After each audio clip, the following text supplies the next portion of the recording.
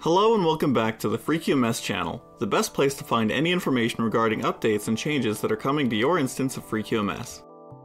For today's video, we wanted to let our users know about the new user feedback area that can now be found in the program.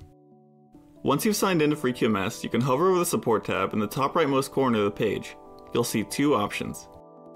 One for help videos, which directs users to the FreeQMS YouTube channel for tutorials and general functionality help. And send complaint, which will automatically open your default mail client and draft an email to the support at FreeQMS email. This is where users can go to report bugs, other issues, or just ask any questions they may have for us. Lastly, if you hover over your account to the right, you'll see the FreeQMS user survey button. This will take you to our user survey page. This goes a long way in helping us make improvements to the program. You can leave your feedback here. This is where we will compile user data to make the best changes and future updates to the program. FreeQMS was made to be tailored to your needs, so we appreciate your help in letting us do so. And that covers it. We would like to extend a humble thank you to our many users. Be sure to fill out our user survey, and we'll see you again soon in our next update video.